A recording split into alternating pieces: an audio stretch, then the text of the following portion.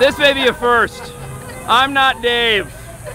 You know what? I just had another Dave who's also not Dave. Yeah, who yeah, who said that I meant to call up because you know I got a death threat from another Dave. I. So I got Green Party Dave, I got Liberal Dave, and I have Death Threat Dave. Yeah. And now we have the I'm not a Dave. I'm not a Dave. What's your guys' name?